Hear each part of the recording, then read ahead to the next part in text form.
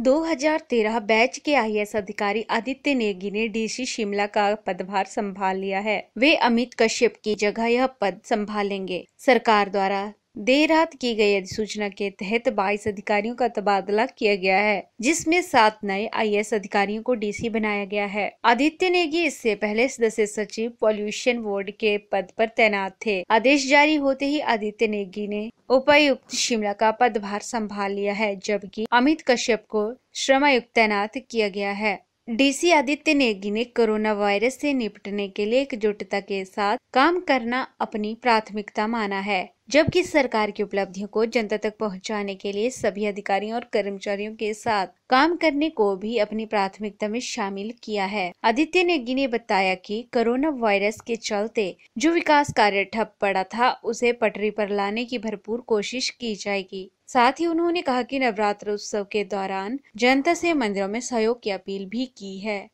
जी, मुझे डीसी शिमला का दायित्व दिया गया बहुत बड़ी ज़िम्मेदारी है। और मेरी प्राथमिकता है वही है जो सरकार की प्राथमिकता है। सबसे पहला तो ये कि हम जो है अपने नागरिकों का कोरोना से बचाव करें। सेकंड uh, जो विकास की गति जो थोड़ी सी धीमी पड़ गई थी कोरोना की वजह से रिस्ट्रिक्शंस की वजह से तो उसको जो है हम थोड़ा सा गति दे सकें।